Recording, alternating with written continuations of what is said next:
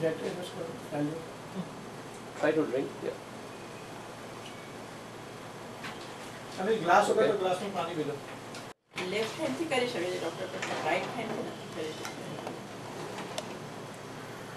See, we are looking for functional improvement. We know It's fine. Do that.